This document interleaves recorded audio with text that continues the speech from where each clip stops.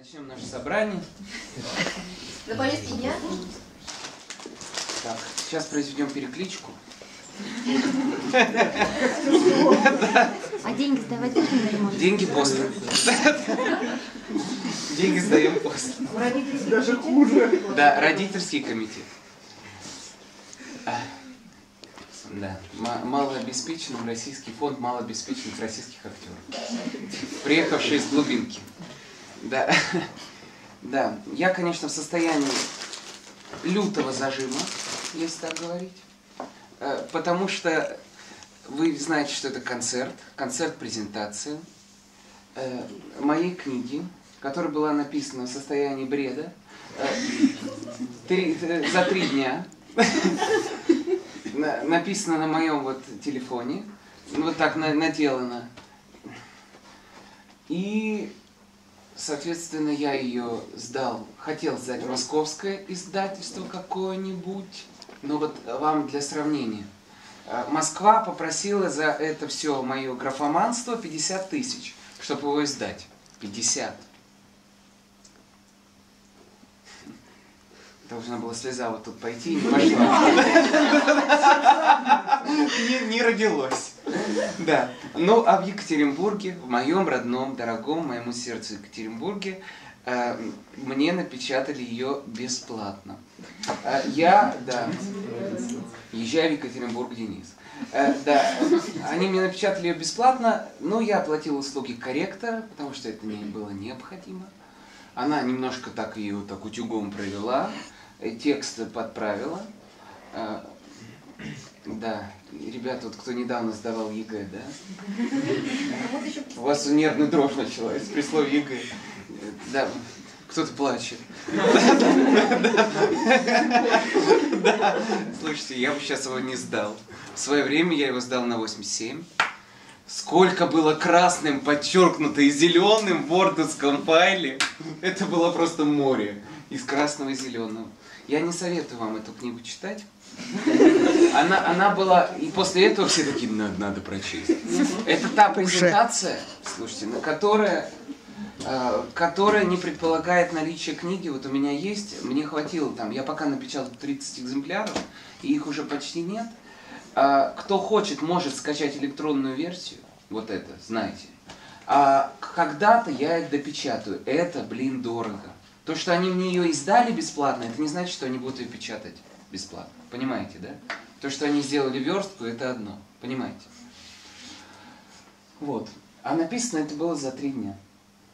Написано почему? Это было летом. Сейчас я тут набросал себе список. У нас 36 песен в первом отделении. И, и, и три во втором.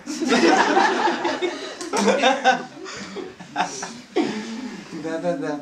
Ну, посмотрим. На самом деле я написал то, что я хотел бы спеть, и то, что у меня просили. А вот буду ли я это петь сейчас, я не знаю. Так, обязательно. Так, Вик, привет. Привет. Э, Видно? Нормально? Во втором действии кто-то точно уйдет. И, это- и вы пересядете. Тут уже есть люди, которые смотрят на часы, когда это кончится. А давайте начнем э, с первой главы, и сразу вы поймете э, объем катастрофы. Она называется... Вы знаете, как книга называется? Она называется «Деня». Меня так называют э, все мои родные, а особенно мама. Она называет меня. Ам, это на самом деле это очень мощно. Денис, э, мне сказали недавно, я был на свадьбе у своего тренера, кстати, записывайтесь на тренировки.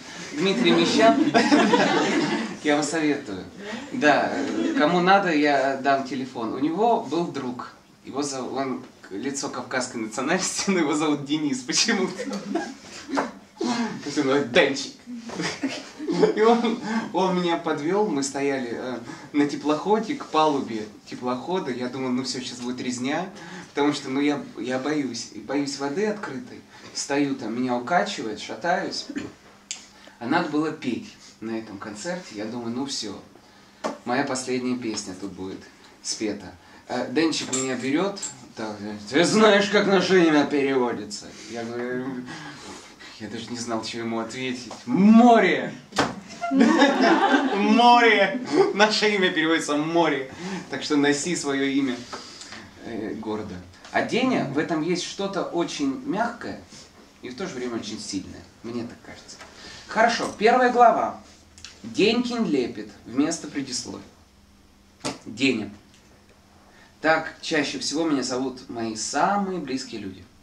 Моя семья. Реже Дениска, Денечка, Денисик. Да, и такое бывало. Меня так называет наша соседка Нина Викторовна. А Денисик приехал.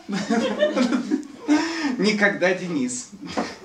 Я люблю свое имя в совокупности с фамилией. Сейчас начнется барабанный дробь. С раннего детства я с удовольствием произносил это сочетание и представлял, как оно будет выгравировано, выгравировано на табличке моего памятника. Обязательно в центре Москвы, на Тверской, там, где сейчас стоит памятник Пушкину. Нет, эти мысли не были фантазиями желторотого мальчугана, с рождения заболевшего звездной болезнью. Это были уверенные, неиспо- неоспоримые факты будущего, которые должны были случиться не сегодня, так обязательно завтра, в крайнем случае послезавтра. Тогда мне было 5-6 лет, я никогда не был в Москве. Если быть до конца честным, я и сегодня, проходя мимо этого прекрасного памятника, тут должна звучать какая-то сентиментальная мелодия, задумываюсь, мечтаю, вспоминаю ту детскую смелость и безграничную упертость. Тогда я не смог бы ответить, почему мне обязаны проставить памятник. Ну за какие такие заслуги? Денег, как ты собираешься заслужить себе такую честь? Быть отлитым из бронзы, да еще стоять в центре матушки столицы.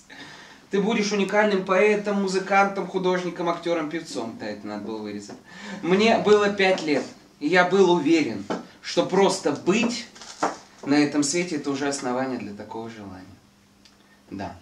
Я думаю, моя судьба была сразу предрешена. То, что я свяжу свою жизнь с искусством, было написано на моем лице и на моих руках. Мой дед, доктор юридических наук и профессор Игорь Николаевич, мне рассказывал, что когда он впервые увидел меня крошечного младенца на руках у моей мамы в окне роддома, Верхесецкого района города Екатеринбурга, первое, что ему бросило в глаза, это мои руки. Они показались ему больше всего моего туловища. Увиденное так потрясло моего деда, что из его уст вырвалась фраза, которую вспоминает с особым трепетом до сих пор. У него длинные пальцы, как у Паганини. Наверное, он будет скрипачом. Да, скрипачом я, к сожалению, не стал. Хотя, наверное, если бы на то сложились определенные обстоятельства, у меня получилось освоить скрипку. От природы имею абсолютный слух. Это поясняет, если ты что-то слышишь, ты слышишь это нотами. Какой-то звук или там. Можешь угадать ноту, она звучит, а ты можешь сказать, это до. Да.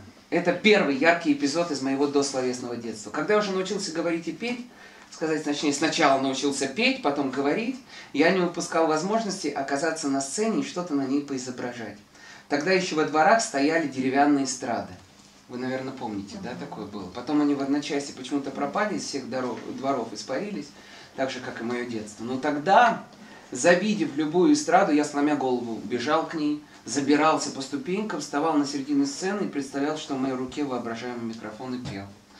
Пел самозабвенно, отрываясь от земли, уносясь в машине с открытым верхом. Это была песня Любы Успенской «Кабриолет». Это был мой хит, тот шлягер, без которого не могло обойтись ни одно семейное застолье. До сих пор сохранились эти кассеты, где я это пою. Я это не могу слушать без слез. Вообще не могу. Меня почему-то накрывает. Не могу. Когда, наверное, вот был эпизод, когда я почувствовал, что детство ушло, знаете, когда? Когда э, у меня у деда большой ящик э, э, и мой архив. Он собирает все. То, что я сейчас уехал в Москву, для него это трагедия личного порядка. Потому что у него нету моих афиш, у него нету моих, этот, у него книги моей нету. Он видит только ленту в ВК и ленты в Фейсбуке. Ну, понятно. Разлука. Что с этим не поделаешь? Ну и вот. И у него сохранились вот эти вот кассеты аудио, на которые он меня записывал. Он меня сажал рядом с собой и меня записывал, со мной говоря. У него такой очень э, красивый баритон, он кубанский казак. казак. Этим все сказано. И он со мной разговаривал. Ну, пел там, и я что-то пел. И когда я впервые увидел сквозь время эти записи, там написано Дениска, два с половиной года. Дениска, два с половиной года и два дня. День, понимаете, вот каждый шаг. Я послушал эту запись, и у меня, я, я вот отключил ее, только что-то началось, а когда мы слышим свой голос в детстве, э, из детства, мы, мы не можем себя с ним, мы не узнаем себя, ну никак не узнаем. Я вообще почти ничего не помню своего детства, вот там три года, два. Я знаю людей, которые помнят, я помню, как я вылезал из мамы, ну что, ну э- э, я этого не помню, не помню. Я помню очень странные эпизоды. Но это все время странные эпизоды. Я родился на Урале, я поясняю, и эти эпизоды порой даже нельзя говорить. Да, а, и когда я услышал свой, свой голос, я понял, что детство кончилось. Вот в этот момент. Почему-то. Понимаете, да? Когда я вижу вот эту пленку, что я остался на этой пленке. Я остался запыленной кассете. Я остался в этом ящике. Мое детство там осталось. Да, вот с тех пор, давних пор я и пою по сей день. Тогда я пел чужие песни. Сейчас я пою авторские песни. И вот в этом сборнике я собрал все тексты, написанные за последние 10 лет. Вот. Взгляни на мое ты детство. И все тебе станет ясно. Играл на рояле Скерца, надевший колпак бумажный, как в тюзе давали драму. Сидел, затаив дыхание. Под поезд попала Анна, а театр в мое сознание. Я взрослым стал слишком рано. Спасибо за это папе. Мой папа вернулся с Афгана. Не будем о грустном. Хватит. И всех, кто платил мне болью, давно, дав, предавно простил я. Я был окружен любовью. И с детства был самым сильным. Не телом, не мускульной силой, а силой на кончике пальца. Она в небеса уносила меня, лицеиста-скитальца.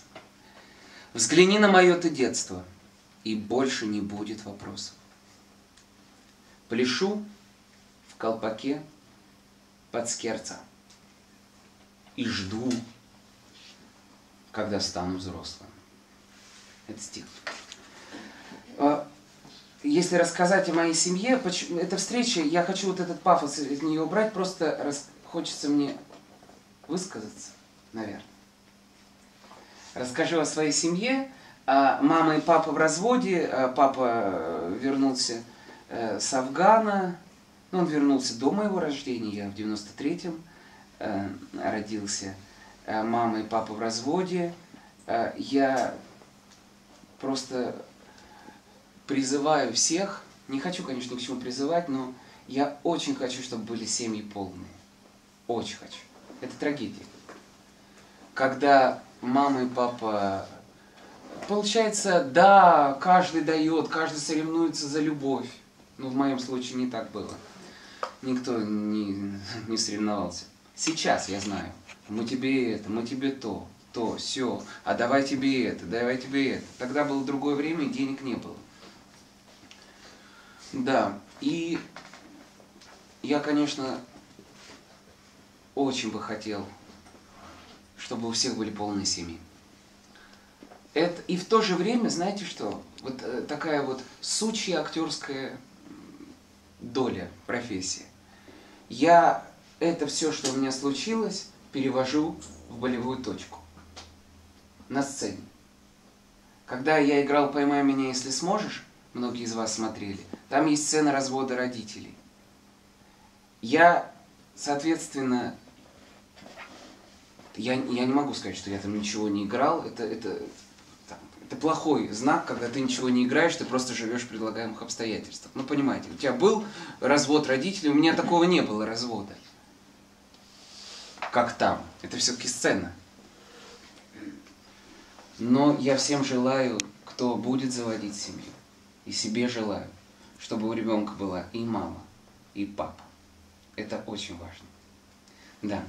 Ну, и помню я свое детство вот такое. Мама у меня эм, торговала на рынке на Чкаловском Екатеринбурге. Э, я помню себя э, занавешенной вот этими шубами, куртками.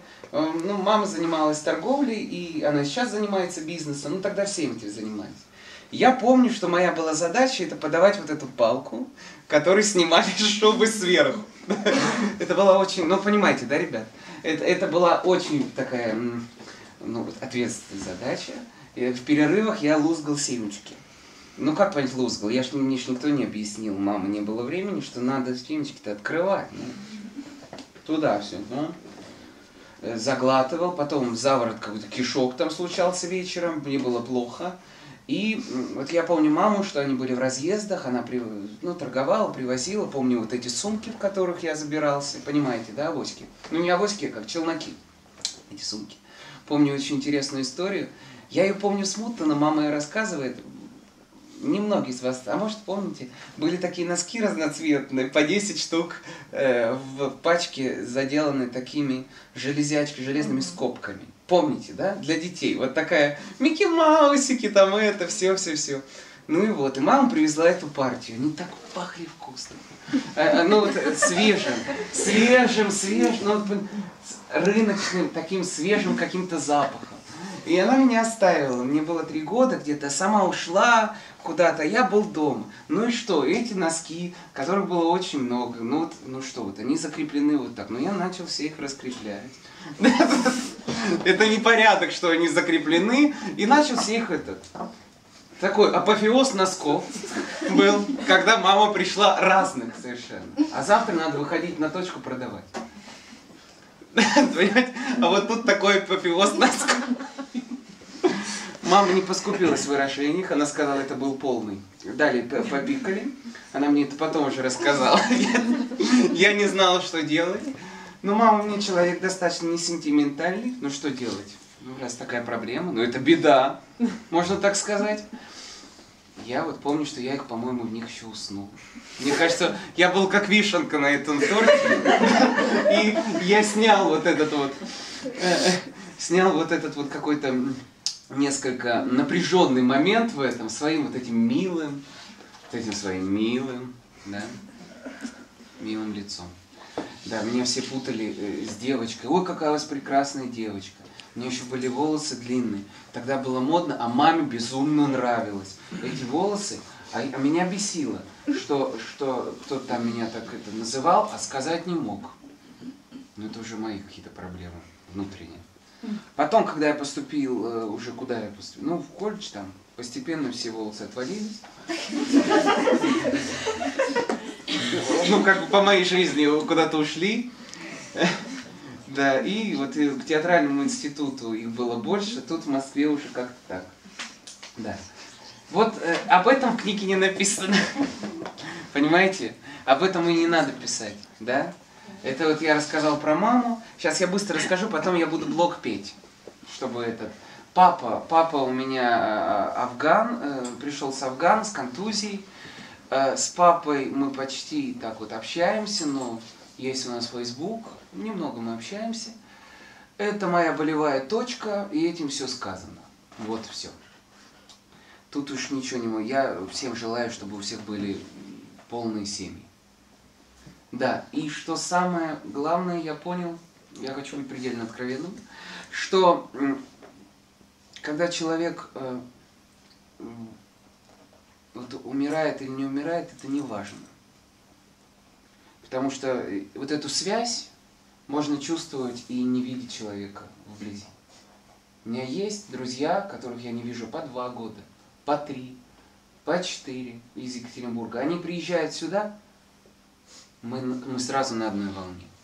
Мы сразу. Мы не терялись. Для меня это катализатор того, что все идет, что я с человеком вместе, в одной уп- упряжке. А когда человек вот из твоей жизни уходит, знак равенства умирает для меня. Неважно, умер он или нет. Вот есть человек, а как будто его и нет. Как будто его нет. Да. А э, вот мама и папа были отдельно, а я воспитывался и жил э, до моего отъезда в квартире у моих бабушек и дед, бабушки и дедушки по линии папы. Папы. Они у меня академики, дед заслуженный юрист России, а, это почти как заслуженный народный ар- заслуженный артист, только юрист. Народного юриста, к сожалению, нет. Но он давно народный. Дай бог ему здоровья и бабушке. А бабушка полковник милиции. Да, это, это гремучая смесь. На самом деле это итальянские страсти. Это э, то, что я там, какие-то актерские мои приспособления и, и интонации, это все и от бабушки, и от дедушки. Потому что они оба взрывные. Ну, дед такого ширвиндовского плана. Он может тихонечко сказать так, что бабушка будет вот так будет у бабушки. А он может тихонечко совершенно сказать. Они два разных полюса, и, видимо, поэтому они вместе. Почти 50, наверное, 5 лет они вместе. Это нереально. Да. Да, и дед у меня пи- пишет книги всегда. Ну вот пишет, он юрист, и ну, положено писать книги. У него порядка, наверное, там 40 книг. И когда я видел, что он пишет книги, но у меня ведь совершенно, ну, тоже хочу. И я говорю сейчас не про это. И где-то в 15 лет я написал первую книгу «Музыкальная литература в таблицах». Это учебник. 15 лет мне было. Я его собрал и отослал в издательство «Феникс». Там же, где печатали моего деда, профессора.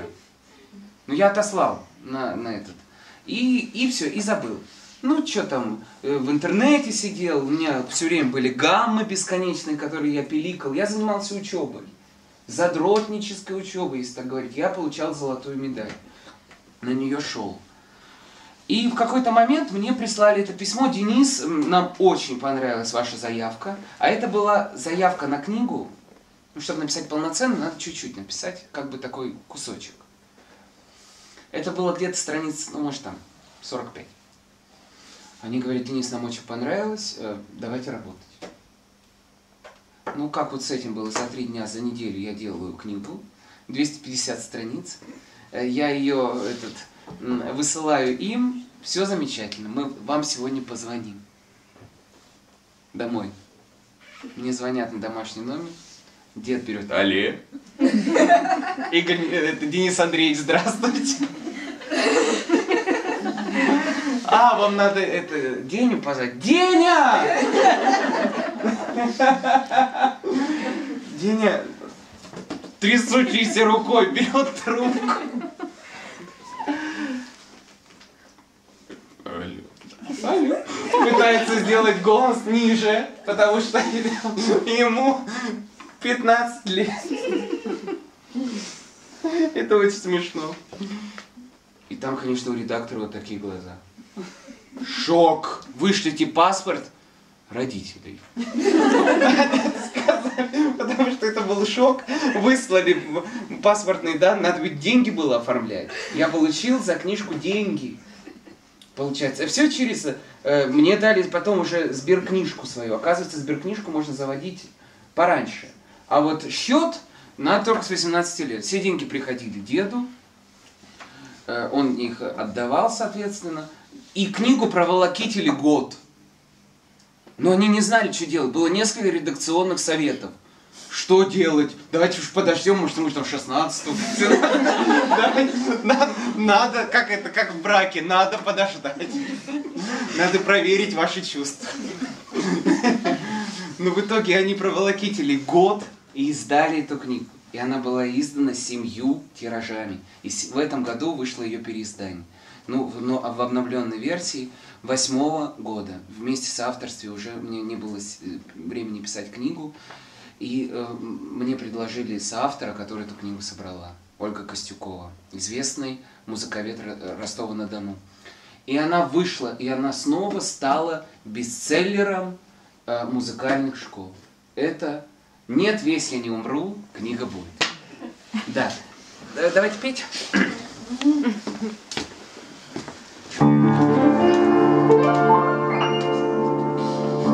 Бывают моменты такие, что хочется вспомнить былое,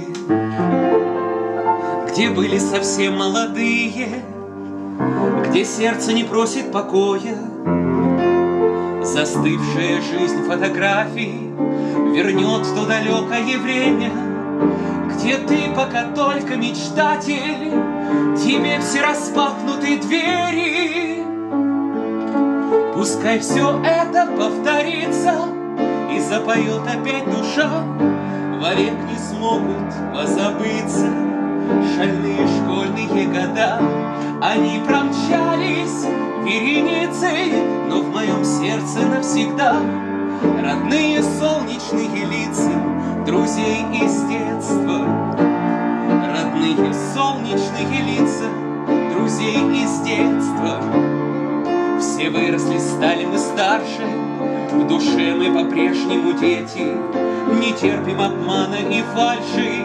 За многих теперь мы в ответе. Куда бы судьба ни бросала Есть в жизни надежное средство Альбом фотокарточек старых. Тут уже начал падать, да? Окно наше юное детство. Пускай все это повторится. И запоет опять душа Вовек не смогут позабыться Шальные школьные года. Они промчались вереницей Но в моем сердце навсегда Родные солнечные лица Друзей из детства. Родные солнечные лица Друзей из детства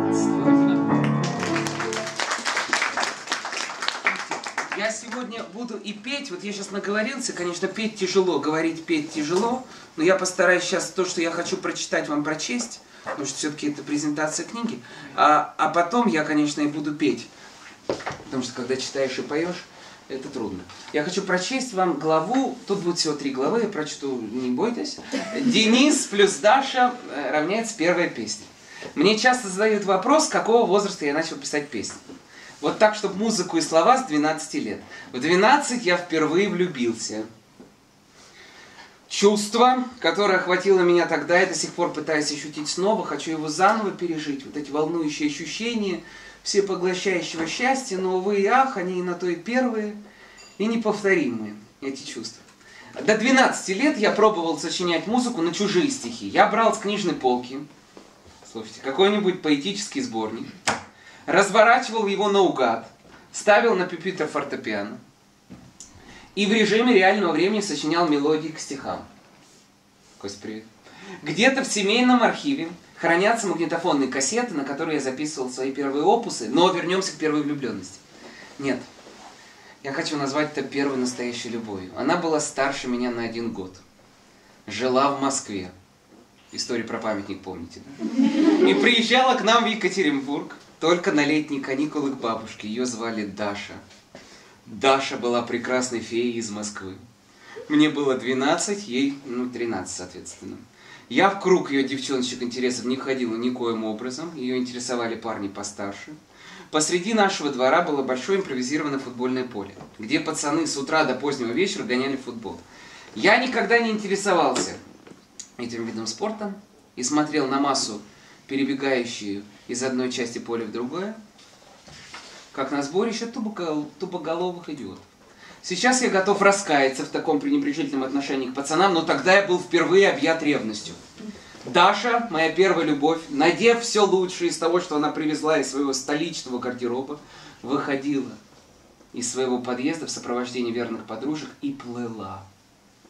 Да, именно плыла, рассекая волны через весь двор к футбольному полю, где, срывая голос и напрягая свои рельефные мышцы, в футбольном поединке играл он. Я не помню, как его звали. Нет, вспомнил. Рома. Да, Рома. Я это имя тогда возненавидел. Ром тут нет у нас? Рома был капитаном команды, лидером, вожаком стаи, кумиром всех девчонок двора. Ему было 14. Мои глаза застилали слезы, когда я видел, как Даша смеется и скандирует и его имя во время футбольной игры. Я не мог видеть, как она улыбается. Я смотрел на ее красивые губы, произносящие «Рома, Рома», и плакал, стоя в густах густого шиповника. Я решил вытеснить Дашу из своей головы. Да и обстоятельства мне помогли в этом. Начался сентябрь, учеба в лицее. Незаметно пролетел год, и снова наступили летние каникулы. Я знал, что она должна приехать из Москвы со дня на день. Она всегда приезжает в начале июня. Я ждал ее всем сердцем. Сердцем, переполненной гремучей смесью любви, ревности и обиды. И она приехала. Я себя повел тогда очень странно. Мне было 13 лет, и я прошу меня простить. Такой выпад э, переходного возраста. Когда приехала Даша, появилась в нашем дворе, я был дома. Сидел на полу своего балкона. Второй этаж. И через узенькую щель в деревянной обшивке с высоты второго этажа смотрел на нее. Повзрослевшую, с округлившимися женскими формами, смеющейся, обнимающую поочередно каждого из своих уральских друзей, которые не видели ее целый год. Я сидел на бетонном полу балкона и чувствовал внизу живота такое странное и приятное ощущение. Я смаковал этот момент. Я ощущал всеми порами, что Даша ищет меня глазами, что она хочет узнать, а где же ты? Моя лучшая подруга Катя, живущая со мной в одном подъезде, зашла ко мне вечером и спросила, а почему ты не выходил-то, мы тебя кричали. Я соврал, что занимался на фортепиано. Очень много задано лет, надо сидеть за инструментом, разучивать. Пока говорил всю эту билиберду, в моем мозгу возникла идея, и сразу же вырвалась стремглав наружу. Катя сказала ей своей подруге, а Даша спрашивала что-нибудь про меня. Где я там, что я? Катя ответила, да нет, вроде ничего не помню такого. Так вот, продолжал я краснее и горячась все больше. Если она вдруг спросит, где я, ты скажи, что я умер. Да, так скажи, что я недавно взял и умер. Катя не повела брови и тихо ответила, хорошо. Урал, вы чувствуете Урал? Катя не выговаривала букву «Р». Это слово «хорошо», произнесенное ею, звучало еще более ласково и доверительно. Я попрощался с Катей, закрыл дверь, лег на свою постель, пытаясь заснуть, но это волнующе хорошо не переставало крутиться в моей голове. Я не помню, что было дальше. В моей памяти не сохранилось воспоминание о том, как Даша отреагировала на известие о моей мнимой смерти. Мне очень хотелось, чтобы она почувствовала весь груз этой потери. Она должна была оплакивать мой уход долго и носить положенный траур. Я представлял, что я ее муж, который скоропостижно скончался, оставив ее одну одинешеньку. Мне было тогда 13 лет. И так безудержно и сильно я никогда больше не любил. Чтобы снизить ма- мелодраматический пафос моего повествования, я хочу прикрепить ту самую первую написанную для Даши песню. Она называется «Любовный манифест». Почему манифест, не знаю. Слово красивое. Наверное, впервые тогда услышал его, да и приплел для красоты слога.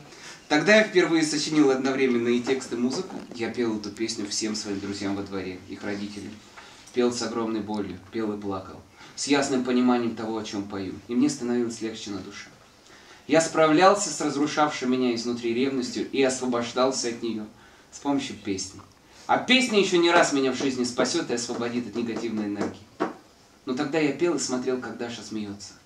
Как кричит вслед летящему в ворота мечу «Рома! Рома! Ура! Гол!» Рома потом поступил в Суворовское училище и больше не появлялся в нашем дворе. Помню, что я был рад несказанно этому известию. Даша живет и работает в Москве по сей день. Я волей судьбы тоже оказался в столице. Мы как-то встречались. Она приходила на мои спектакли. Даша такая же прекрасная недостижимая. Такая же, как и 13 лет назад. Друзья, вот эта голова такая. Представляете? Вот так вот. А песню «Любовный манифест» надо зачитать. Ее, конечно, надо только читать стоя. Два капитана в центре двора. Команду выбирают. Бог с ним, что нет рифмы. Есть эмоция. Тебе пора. Из подъезда ты выходишь.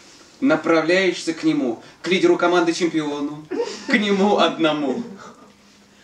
Любовь вам преодолима. Любовь, тут слезы текут, вы еще представьте это. Вы неотделимы.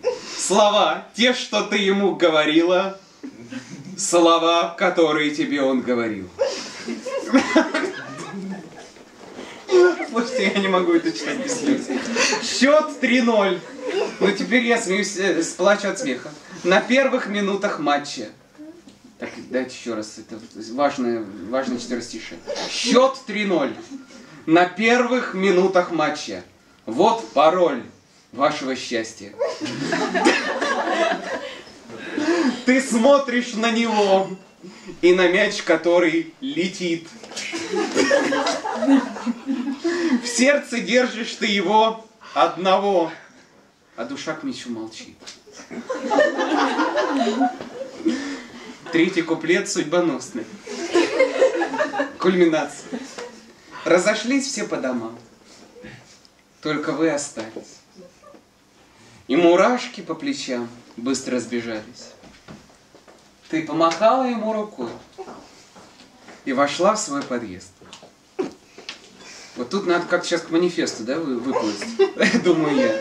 И пошло все чередой, как любовный манифест. Это была моя первая песня. Я ее пел вот всем, вот представь, акапеллу. Было 12 лет, да? Это было «Любовь вам преодолима, любовь вы неотделимы, слова те, что ты ему говорила, слова, которые тебе говорил». И еще надо было раз это спеть, несколько. Представляете? Какой ужас. Да. Ну, э, да, на самом деле вот разрыв между э, более адекватными песнями и вот этой невелик. Не знаю, те, которые я считаю адекватными. Хочу поправить. И вот песню «Кто я» я тогда написал, она была написана в 2008 году. Мне было сколько? 15? 15? Ну вот считайте, три года. Вот после этой песни я себе сказал, да, Денис, лучше этого ты не напишешь.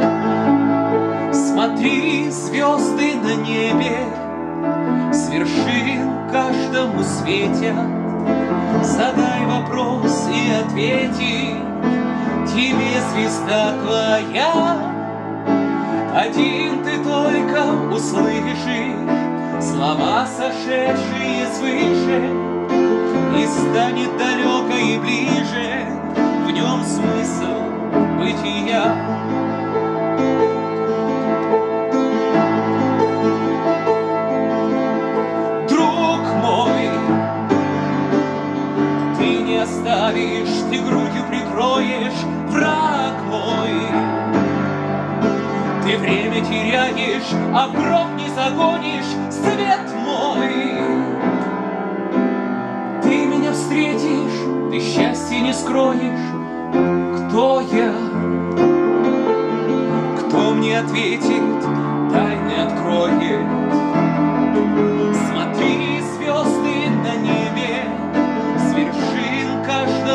Светят.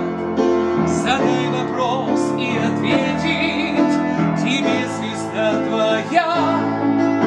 Один ты только услышишь слова, сошедшие свыше, и станет далеко и ближе в нем смысл бытия.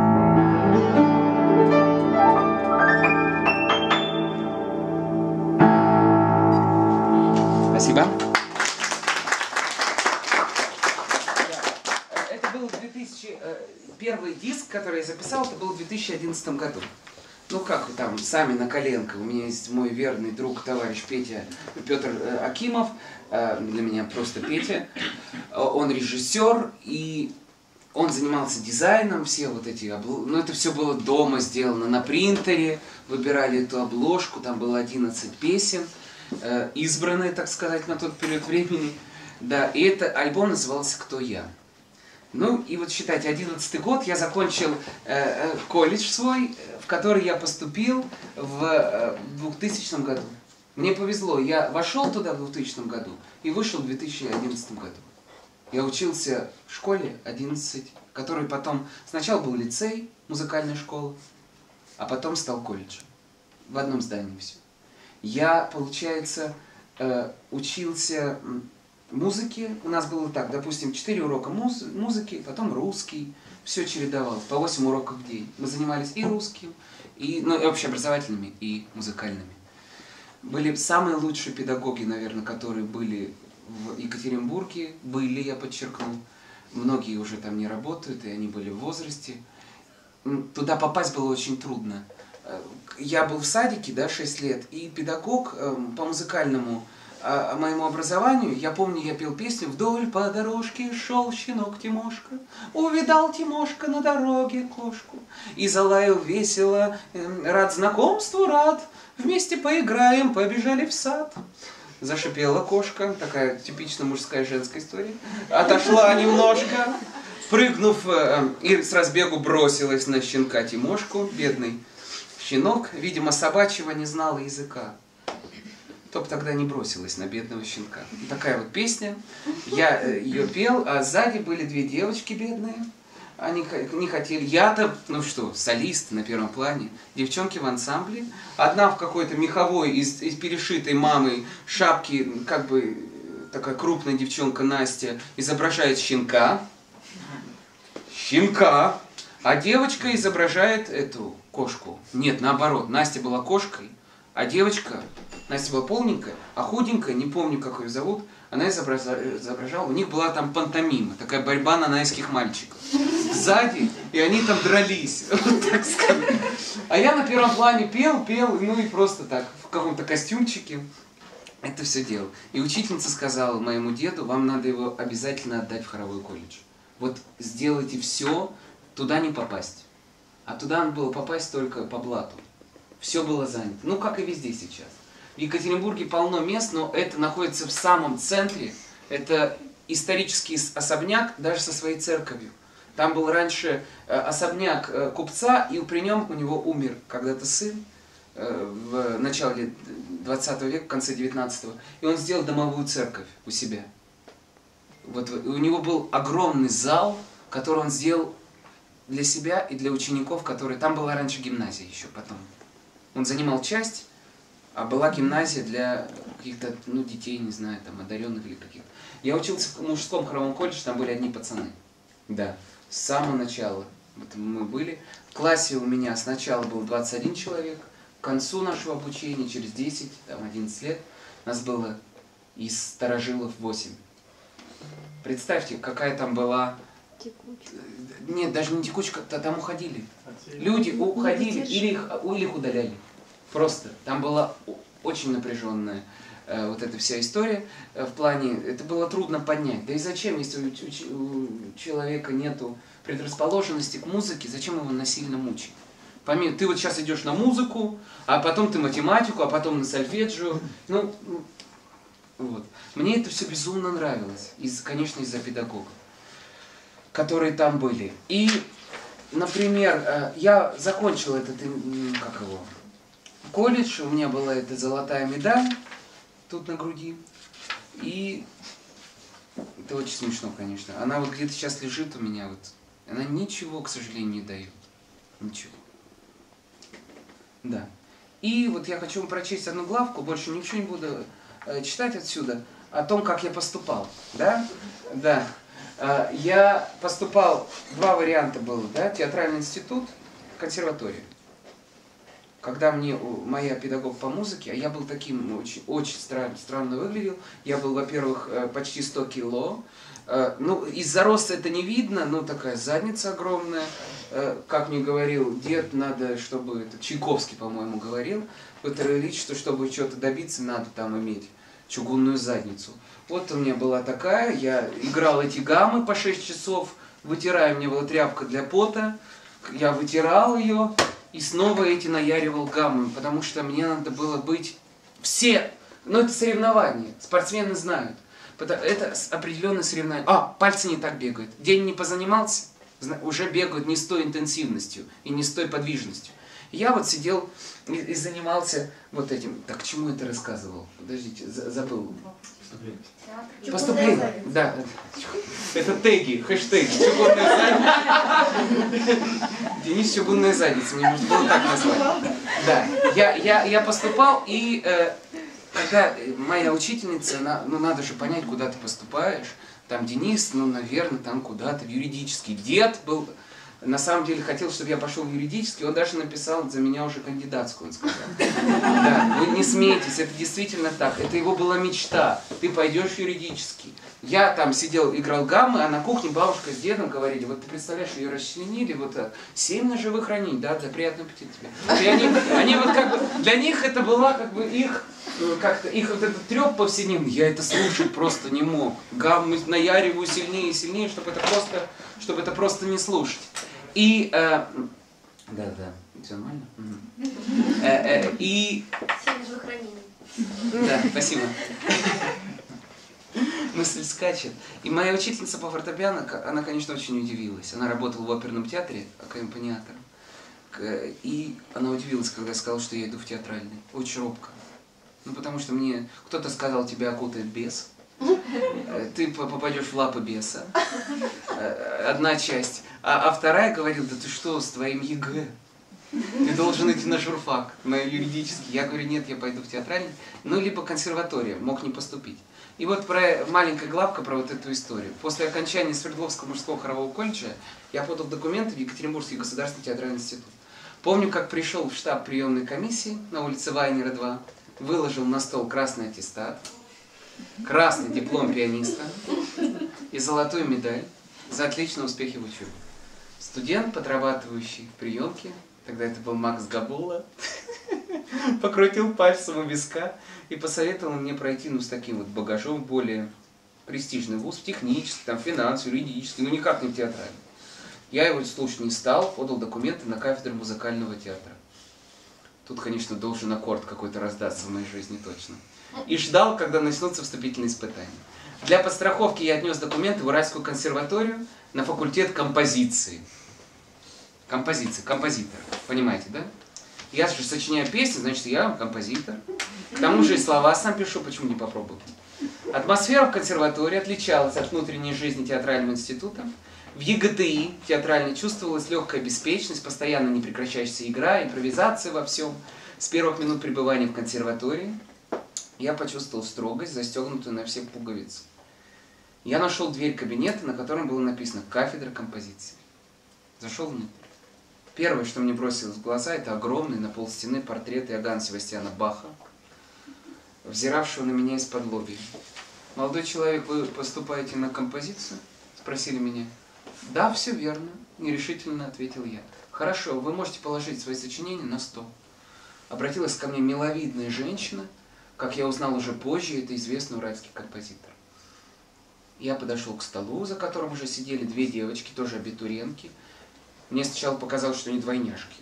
Они были абсолютно одинаковы, черные волосы, затянутые в скромные хвостики, огромные очки, закрывающие их лица, и постоянно находящиеся в движении пальцы, выстукивающие синхронно какой-то едва различимый ритм.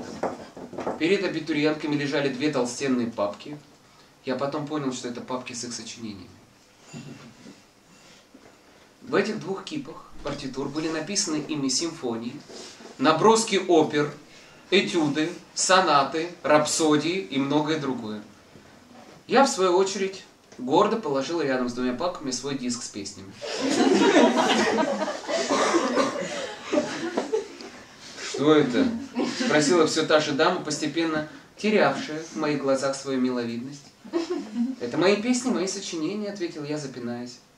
Молодой человек, в своем уме? Вы смеетесь над нами? Подключились другие члены кафедры, также принимавшие вступительные экзамены и сидевшие в кабинете умудренными старцами. Я, я не думал над вами смеяться, это мои песни, я их сам сочинил. Хотите, спою? И тут я был перебит вопросом, который до сих пор меня бросает в холодный пот. Где ваши ноты? Что? Переспросил я. Где ноты ваших песен? Повторили мне экзаменаторы. Я ответил, что не записываю песни нотами, играю их сразу на фортепиано, пишу одновременные слова, и музыку еще много бесполезных слов было мной тогда сказано. Комиссия слушала меня без интереса. Я понял, что поступить на композитора мне не удастся. Да, и не очень-то хотелось. Это был мой запасной вариант на случай, если я не поступлю в театральный. Я закончил свой беспомощный оправдательный монолог, сел на стул, смотря в глаза в глаза Иоганну Себастьяновичу Баху, висевшего на стене. На секунду мне показалось, что Бах презрительно фыркнул на меня. Молодой человек, мы вас не смеем задерживать. Вот Бог, вот порог. Услышал я, возвращаясь в реальность. И сонма мысли переживаний. Вот это было страшно. А больше в консерваторию я не заходил. Вот такая...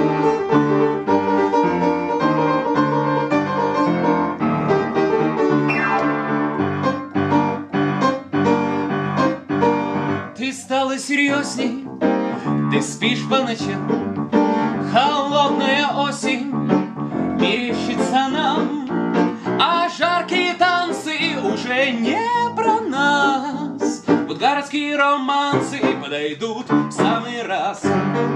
Ты стала серьезней, тебе не к лицу, А помнишь однажды ты сказала отцу, во мне батарейка папа на тысячу лет.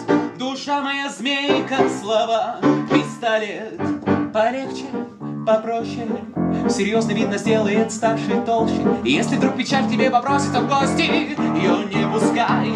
Полегче, попроще, ты нос не опускай, улыбайся побольше И помни, что серьезно видно сделает толще И не унывай, ты стала серьезней Ты в образ вошла И вдруг наконец-то меня поняла. Свободную душу Нельзя под серьезностью скрыть. И образ не нужен Без образа можно прожить. Эй, полегче, попроще. Серьезно видно сделает старше и толще. Если вдруг печаль тебе попросится в гости Ее не пускай. Полегче, попроще. Ты нос не опускай, улыбайся побольше. И помни, что серьезно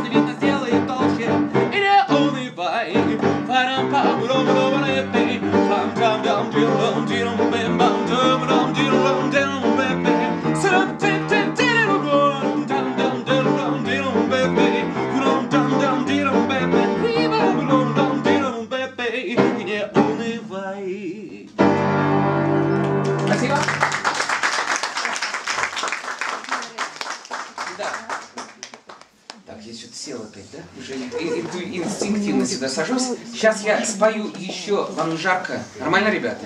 Нормально? Вы говорите еще.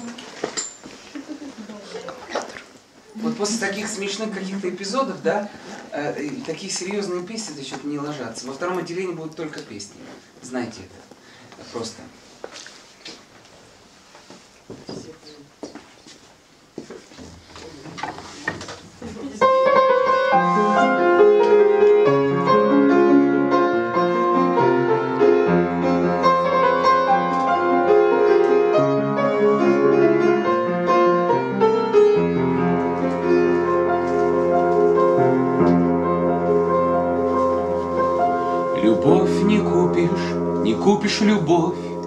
Когда ты полюбишь, обжигаешься вновь. Красивые лица, а внутри пустота, И ночью не спится, а на утро пока. Везде правят деньги, деньги правят везде, С бриллиантами серьги, золотые колье. Зачем покупаешь, лишь известно тебе, И не удивляйся старухе судьбе. Запах абсента, времени лента, Мы ставим акценты на губах.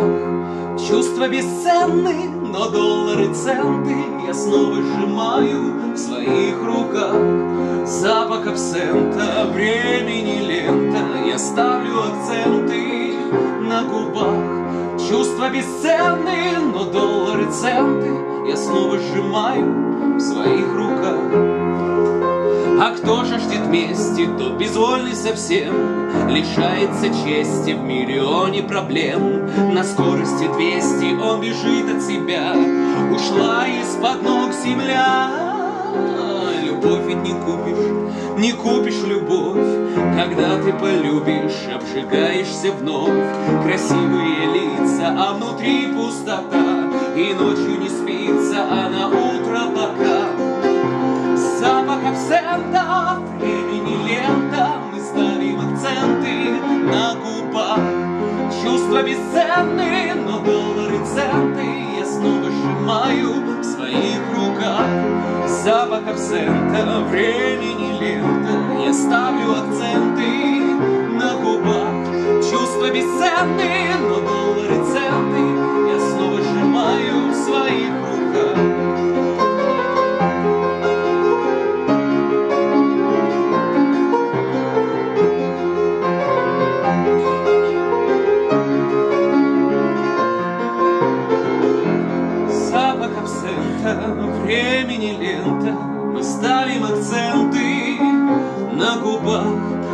Чувства бесценны, но доллары центы Мы снова сжимаем в своих руках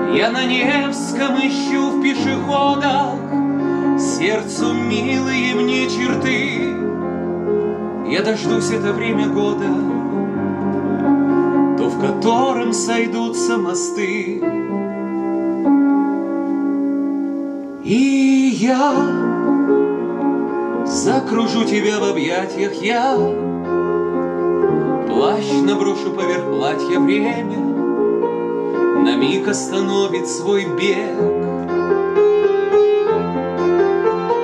Ты под дождем споешь мне песню, ты знаешь, что мы будем вместе главный, Любимый родной человек.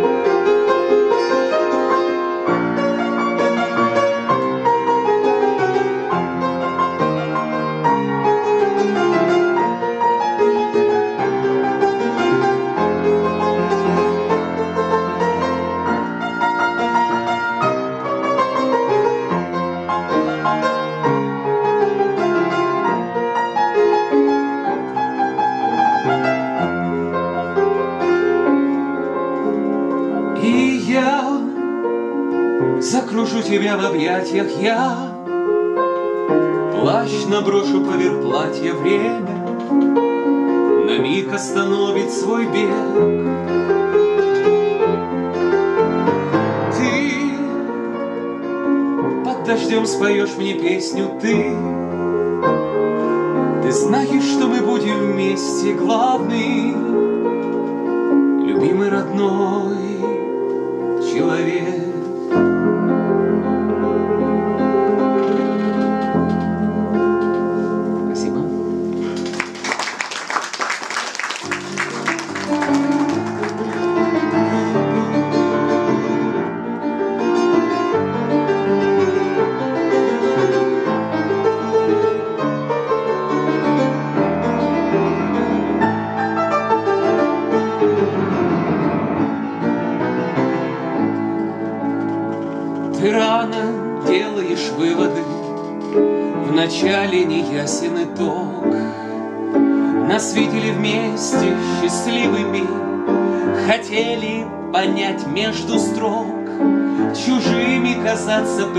пытаемся Не верят нашей игре. Нам нужно в притворстве покаяться И все предоставить судьбе. Хочется обнять тебя и не говорить Жизнь не торопить, просто рядом быть. Каждую секунду быть любимым и любить. Радость и печаль на двоих на двоих Делить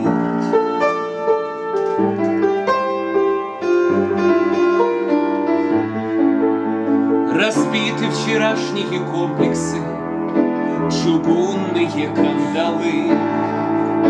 Мы вместе парим в невесомости В глазах удивленной толпы. Под масками чувства скрывали мы Зачем смешно вспоминать? Слезою точку поставили Чтоб заново все начать. Мне хочется обнять тебя и не говорить. Жизнь не торопить, просто рядом быть. Каждую секунду быть любимым и любить. Радость и печаль на двоих делить На двоих делить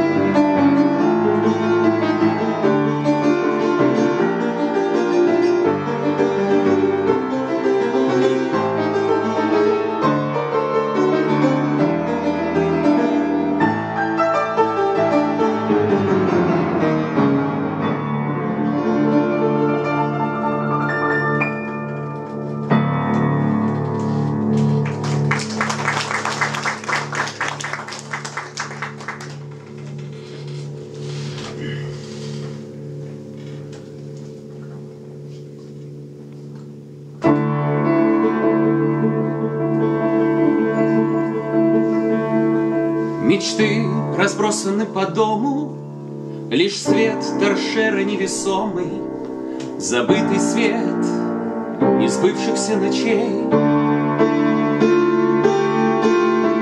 Как задушить немые стоны, Таких, наверное, миллионы, Кто хочет жить без помощи врачей.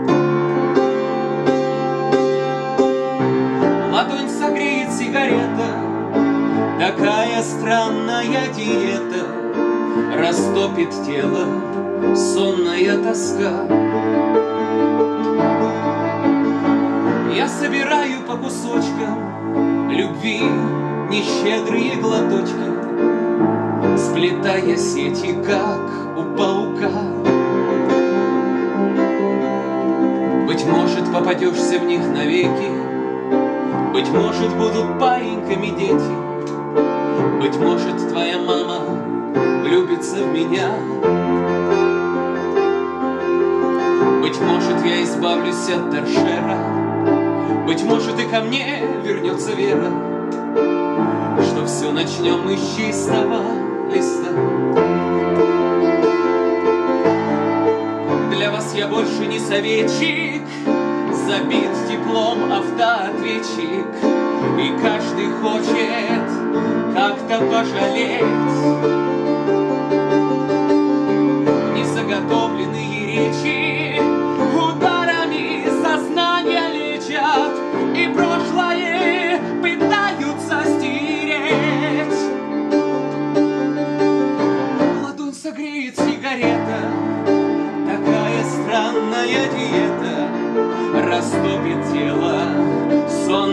сонная тоска.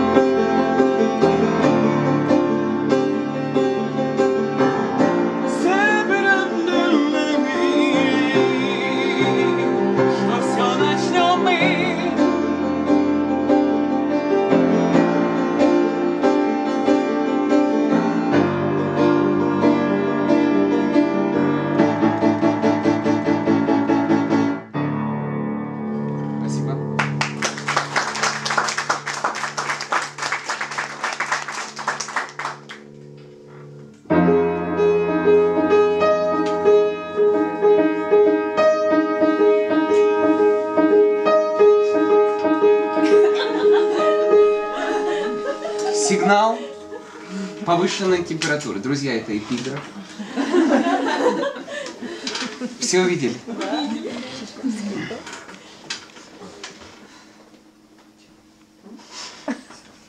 Ты... Подождите, я вас всех не заметил. Слушайте, ты что ли с Польши прилетела?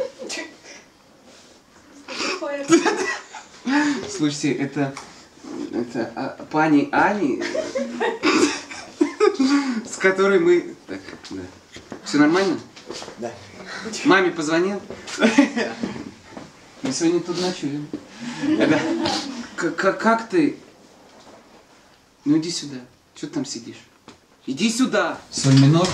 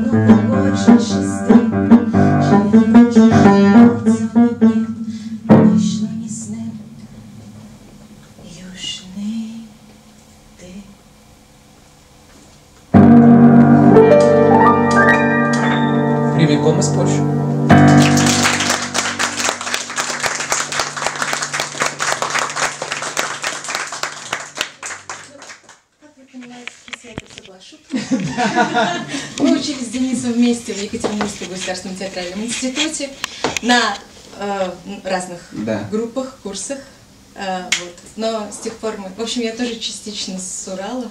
Да. Ты это не, тебе это не удалось скрыть. Как ты не пыталась. Такие дела. Давай А споем. кто-нибудь из вас знает польский? Owszem. Сербский. Ну, то есть вы меня распустили сразу же. Nie. Так, все ясно. Сейчас будет премьера песни, которую написала Аня сама. с которой мне очень помог Денис. Надеюсь, что помог. Называется «Характеристика». Я породы не дикой ручной Рождена была стать хорошей Принимайте меня такой и не делайте больно хочу купаться в отчаянии Когда любишь себе лишь вредить И разбрасываться обещаниями. Снова завтра все прекратить. Снова завтра все прекратить. Снова завтра все прекратить. И зачем сердцу лишних Oh.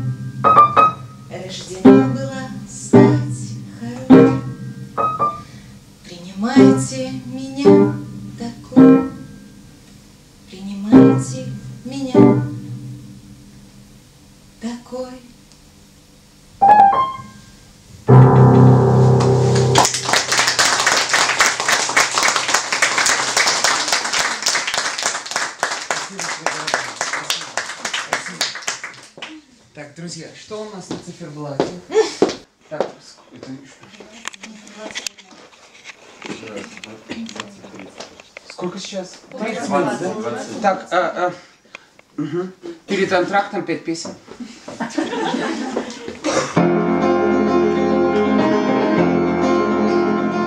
Что-то странное происходит, я уже три ночи не сплю, И душа покой не находит, неужели тебя люблю? Все капканы твои я видел и решил поддаться судьбе. Я спектакль играл, аплодировал зритель моей лживой, красивой игре. Доигрался мальчик, все границы перешел, правила нарушил. Что же будет дальше? Ну когда же ты поймешь, что ты ей как воздух нужен? В океане фальши сам себя ты потерял, а ведь был таким хорошим. Доигрался мальчик, ты овации сорвал, без нее дышать не можешь. Что-то важное происходит, этот мир раскрасился вдруг. Я вернулся к любимой работе, стал добрее, заметил мой друг. Все капканы твои я видел, и не зря поддался судьбе. Все заранее знал, проницательный зритель и поверил мне и тебе.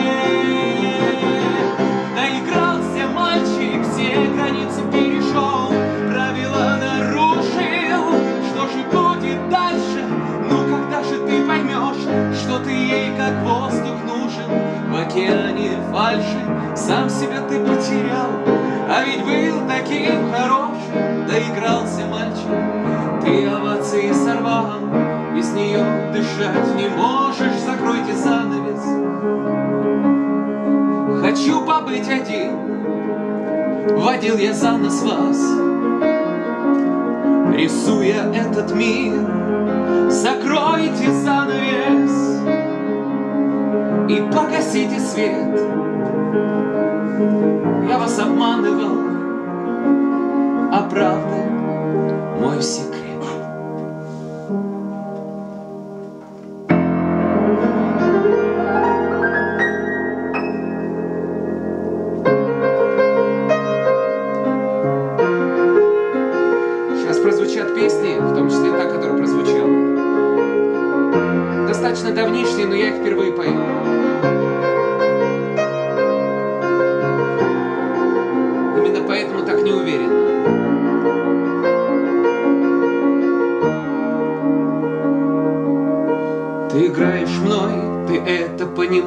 причиняешь боль, но все же продолжаешь. Ты знаешь, я не дам тебе сдачи, я все выслушаю, я не заплачу. Тогда ответь мне, что же я значу, что значу для тебя. Разговор пустой, нити мысли рвутся, тяжело с тобой. Хочется рвануться, убежать и больше не соприкоснуться, Не боясь к тебе спиною развернуться, но я боюсь. Зачем я научился забывать, что злюсь? Не бери так близко к сердцу, Наша жизнь как сливки с перцем. Если сливок больше перца, это сон, мой милый друг. Не бери так близко к сердцу, не палач ты и не жертва. Если перца больше сливок, все в порядке. Very good. Извинение река с головою накроет До свидания пока. В теле дрожь остановит Знаю наверняка. Все опять повторится Мне неделю не спится Мне вторую не спится Несмотря ни на что. Я любить тебя буду Вот и солнце взошло. Все плохое забуду Этот груз на плечах. Не таскай понапрасну Жизнь и вправду прекрасна Так ужасно прекрасна не бери так близко к сердцу. Наша жизнь, как сливки с перцем. Если сливок больше перца Это сон, мой милый друг. Не бери так близко к сердцу. Если перца больше сливок Все в порядке. Very good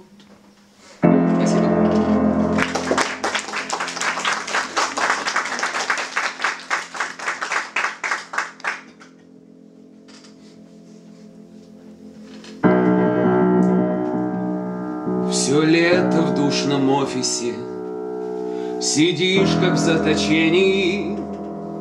Хотела к черту бросить все Но скоро день рождения А платье не дешевое И спонсора все нет.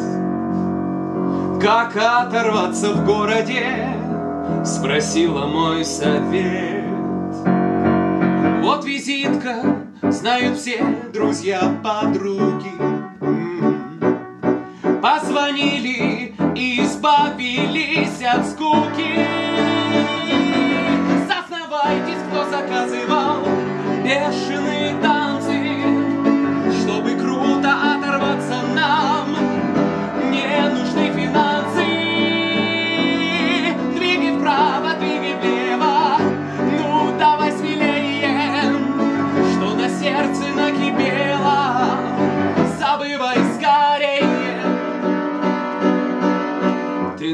позвонила мне, спросил я, что случилось. Кричала ты на веселье, что заново родилась, и за спасительный совет меня благодарила. Когда же наступил рассвет, ты обо всем забыла.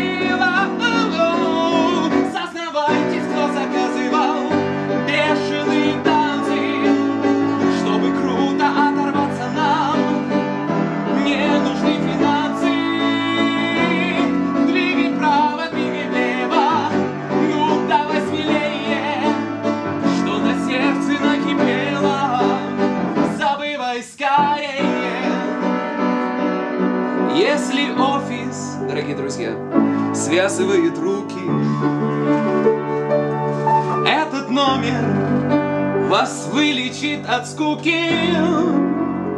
8 985 079 6699. Товар подлежит обязательной сертификации.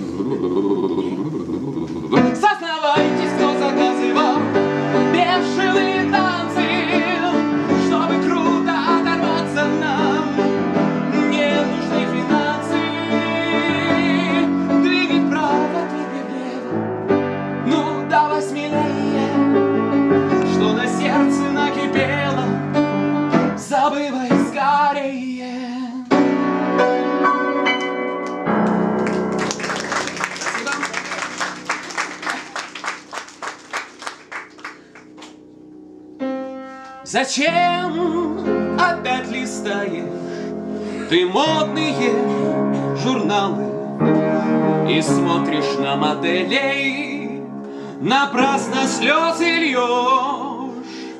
Ты мне давала слово, клялась и обещала, но вот почти неделю ты воду только пьешь. Ты знаешь, как моделям этим трудно. Без тортика, без булочки и сала. Им нужно на весах стоять все сутки,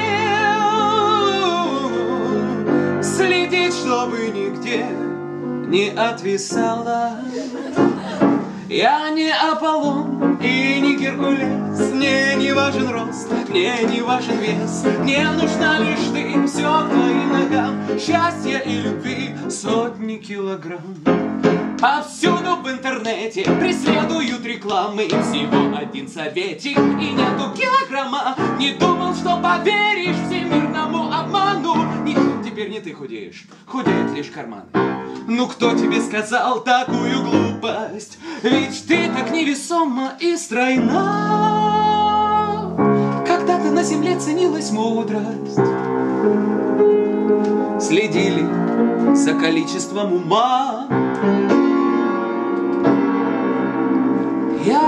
Аполлон и не Геркулес, Мне не важен рост, мне не важен вес, Мне нужна лишь ты, все к твоим ногам. Счастье и любви, счастье и любви, счастье и любви. Сотни килограмм, сотни килограмм, сотни килограмм. Ам. Еще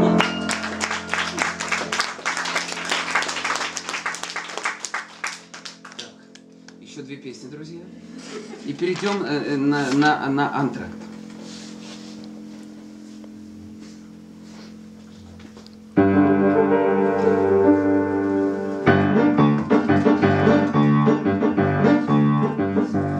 Тот запах липы и листьев шорох Навеки в наших с тобой альбомах Луна в бокалах, чернила ночи Бруснично-алых по коже почерк В тот омут летний нам нет возврата Письмо в конверте без адресата. О нашей встрече не может быть речи. Мы обеспечим покой нашим сердцам. На ваши чувства мне ответить нечем. И связь случайно парам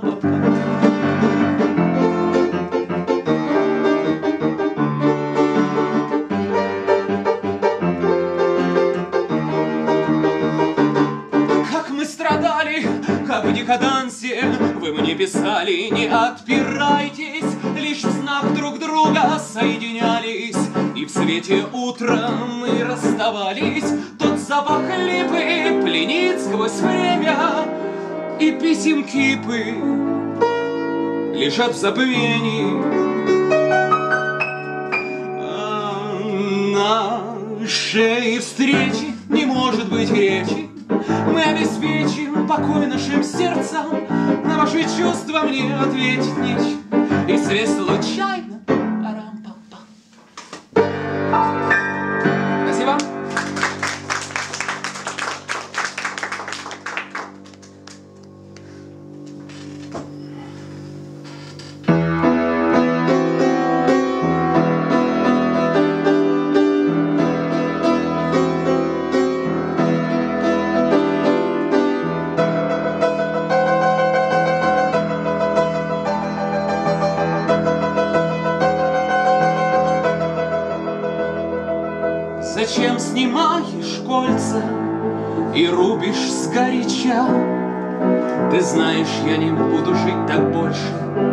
и мне тогда жить нельзя.